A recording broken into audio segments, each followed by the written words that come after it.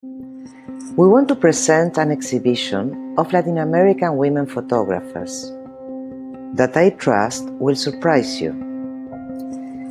In this first exhibition, we will show a small sample from across the whole region.